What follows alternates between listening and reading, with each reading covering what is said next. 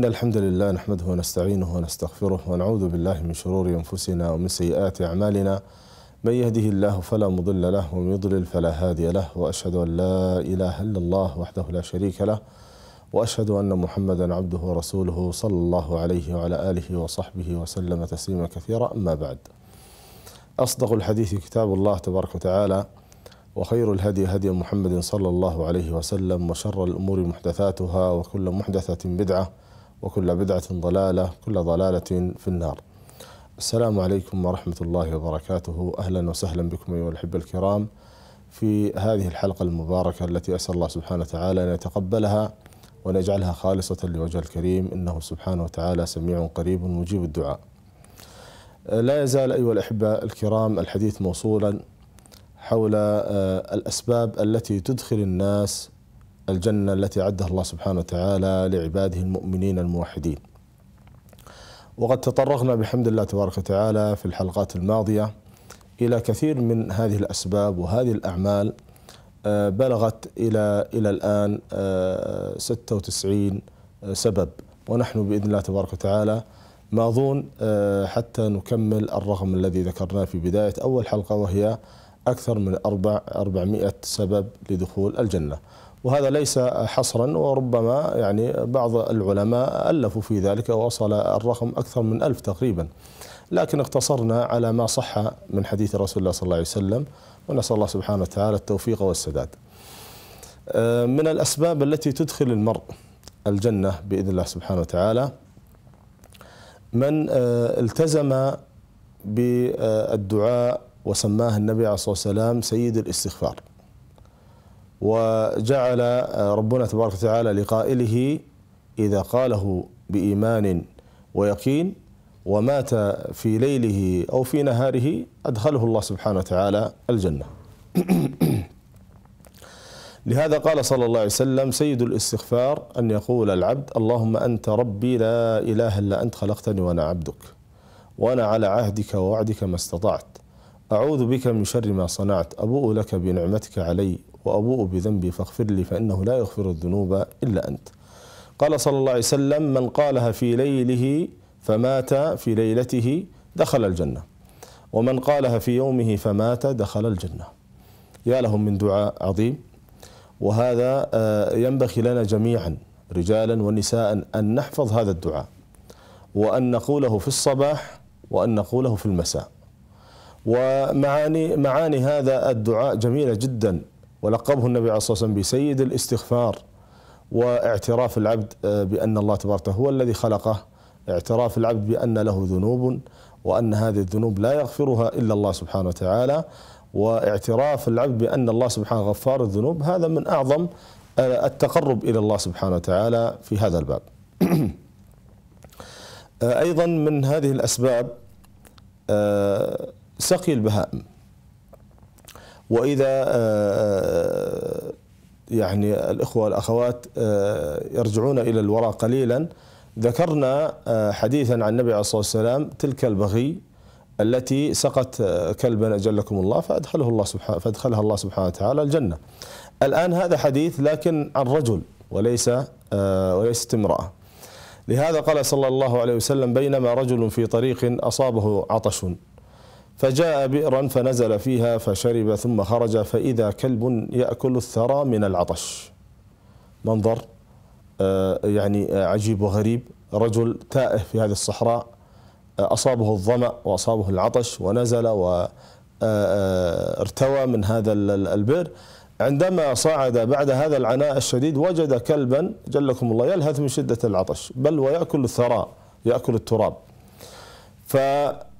فنزل مرة أخرى وملأ خفه من هذا الماء ثم صعد مرة ثانية وأسقى هذا الكلب فشكر الله سبحانه وتعالى له وأدخله الجنة.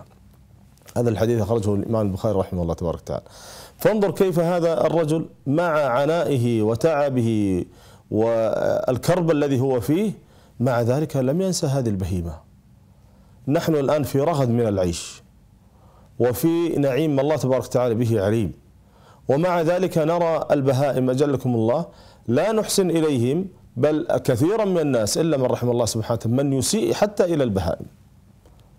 من يعاقب حتى البهائم من يتفنن في تعذيب هذه البهائم. فإذا الجزاء من جنس العمل قد تدخل الجنة ببهيمة أحسنت إليها. والعياذ بالله قد تدخل أيضا النار ببهيمة. أسأت إليها وسوف يأتي معنا إن شاء الله حديث الهرة التي حبستها تلك المرأة. أيضا آه، من الأسباب التي تدخل الإنسان آه، الجنة بإذن الله تبارك وتعالى العمرة في رمضان. رمضان شهر عظيم. كما قال سبحانه شهر رمضان الذي أنزل فيه القرآن. وقال كتب عليكم الصيام كما كتب على الذين من قبلكم لعلكم تتقون. وقال صلى الله عليه وسلم من صام رمضان إيمانا واحتسابا غفر له ما تقدم من ذنبه. هذا الشهر من أدركه أدرك الخير كله الخير كله بشرطين أن يكون عنده شيء من الإيمان وأن يكون مخلص كما قال عليه الصلاة والسلام من, قام من صام رمضان إيمانا واحتسابا غفر له ما تقدم من ذنبه. من الأجور العظيمة التي ينبغي الإنسان أن يحرص عليها في آه، ليالي ونهار رمضان أن يذهب إلى بيت الله الحرام. إذا ذهب وأدى العمرة حصل على أجر عظيم وهي حجة كأنه حج مع النبي عليه الصلاة والسلام. قال صلى الله عليه وسلم العمرة في رمضان تعدل حجة أو حجة معي. وهذا الحديث صحيح أخرجه مسلم والبخاري رحمهم الله. أيضا من الأسباب التي تدخل الإنسان الجنة أن إذا سمع الأذان يردد معه. كلما سمعت الأذان عليك أن توطي أي صوت في مسجل في كمبيوتر آه، تنقطع عن الحديث لأن هذا الأذان إذا أجبته ورددت معه بإذن الله وأنت صادق في هذا الباب سبب لدخول الجنة. الدليل على ذلك قال صلى الله عليه وسلم إذا قال المؤذن الله أكبر الله أكبر فقال أحدكم الله أكبر الله أكبر. ثم قال أشهد أن لا إله إلا الله. قال أشهد أن لا إله إلا الله. ثم قال أشهد أن محمد رسول الله. قال أشهد أن محمد رسول الله. ثم قال حي على الصلاة. قال لا حول ولا قوة إلا بالله. ثم قال حي على الفلاح قال لا حول ولا قوة إلا بالله. ثم قال الله أكبر الله أكبر. قال الله أكبر الله أكبر. ثم قال لا إله إلا الله. قال لا إله إلا الله يقينا من قلبه دخل الجنة. يقينا من قلبه دخل الجنة. لهذا نحن وأنتم أيضا آه، كم وكم مر علينا أذان؟ كم سمعت أذان؟ في آه، الإذاعة أو في التلفاز أو في الكمبيوتر أو أنت في الطرقات هل رددت مع هذا الأذان؟ الجواب أنا أقول الكثرة الكاثرة من الناس لا يلتفتون لهذا خصوصا في زماننا هذا لماذا؟ لأن هناك أصوات علت وغطت على هذا الأذان وأشغلت القلوب وأشغلت أيضا العقول والأبصار والآذان فبالتالي الذي يستمع إلى الأغاني وإلى الموسيقى كيف؟ يعني يقفل هذا الروح الشيطاني ويستمع إلى هذا الأذان الرحماني إلا من رحم الله سبحانه وتعالى. فلهذا نحرص على هذا الأجر العظيم لأنه سبب من أسباب دخول الجنة بإذن الله سبحانه وتعالى. أقول إذا عرفنا ذلك وفقنا حقيقة لكل خير. ورشاد واستغل الإنسان كل لحظة تمر عليه من لحظات حياته. نحن تمر علينا لحظات كثيرة جدا لكن مع الأسف الشديد أن كثيرا من الناس لا يلتفت لهذه اللحظات ولا يلتفت لهذه الدقائق والساعات. أيضا من الأسباب دخول الجنة من صلى الفجر والعصر دخل الجنة. لقوله صلى الله عليه وسلم من صلى البردين دخل الجنة. وهذا الحديث خرجه الإمام البخاري رحمه الله تبارك وتعالى. السؤال الذي يطرح نفسه هل أنت تصلي صلاة الفجر وتصلي صلاة العصر مواظبا عليها في المساجد؟ وإن لا قدر لا قدر الله يعني آه، أصابك شيء من التعب كالمرض أو نحو ذلك أو السفر أو الانشغال أحيانا أو النسيان صليتها في وقتها؟ الجواب ليس عندي وإنما عندك أنت. فإذا كنت من أهل الصلاة صلاة الفجر وصلاة العصر ومحافظ عليها جدا فأنت بإذن الله تبارك وتعالى سلكت طريقا من, من, طرق التي توصلك بإذن الله سبحانه وتعالى إلى جنة عرضها السماوات والأرض. لكن إذا كنت من الناس الذين لا يصلون الفجر والعياذ بالله. أو بعض الناس الذين يجمعون الصلوات. أو ذاك الإنسان الذي وقع في طامة عظمى وهو تركه للصلاة جملة وتفصيلا.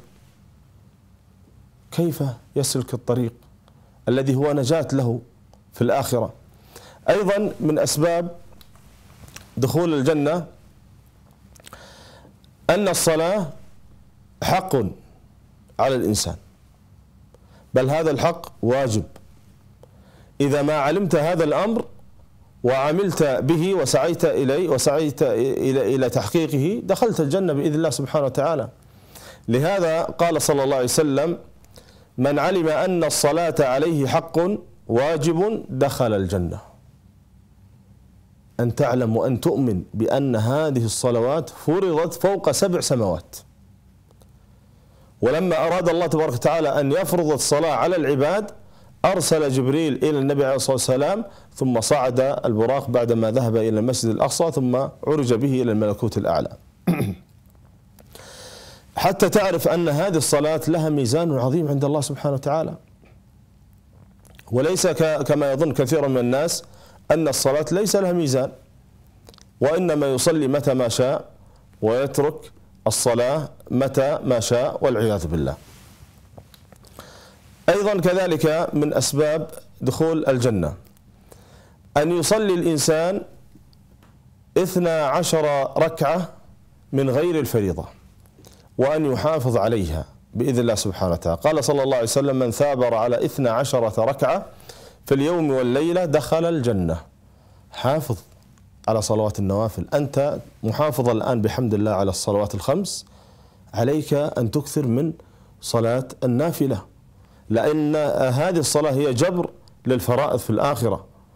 فالآن نخرج وإياكم فاصل قصير ثم بعد ذلك نواصل إن شاء الله هذه الأسباب المباركة والطيبة. لعل الله سبحانه يدخلنا وإياكم الجنة فابقوا معنا.